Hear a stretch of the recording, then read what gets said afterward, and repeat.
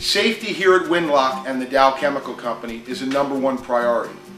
Always wearing gloves with our one component foams while applying them is very important. In our two components, being that there is a true chemical reaction happening uh, on the application when you're spraying the foam, uh, a respirator, whether it be a regular charcoal respirator or a disposable respirator like this one, and also a Tyvek type suit that you can wear to make sure that the product stays off of your arms, also to protect your clothing.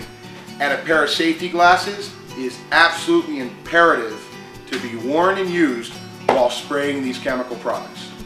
From gaps and cracks, window and door, and wall and floor adhesives, to two component, sealants and insulations, remember Windlock Weatherization and our Dow product line.